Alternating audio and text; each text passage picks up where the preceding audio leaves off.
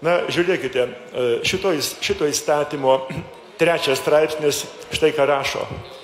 Pagal sveikatos priežiūros įstaigos išvadą nebegali eiti savo pareigų. Tai yra, mes iš karto užprogramuojam e, mintį, kad jeigu tu ponas būsi mums neparankus, tai mes taip pat tau komisiją suradę, pažymą parašysim ir tu tų pareigų nebeisi daugiau niekada.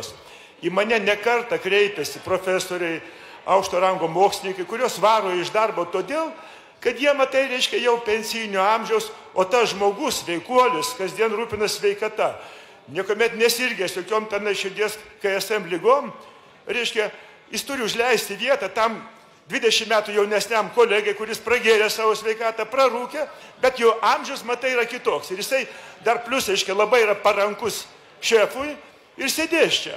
Ir tą klausimą mes nekartą kėlėme, bet atsimušam kaip į uolą.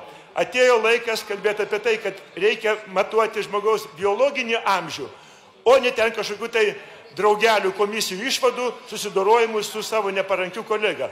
Todėl kategoriškai e, dėl šito e, sakinio nesutinku, jeigu iš čia pasilieka, kategoriškai reikalauja balsuoti prieš. Taip negalima. Čia yra grina diskriminacija žmonių, e, palanki tiem, kurie nesirūpina savo sveikata. Ačiū.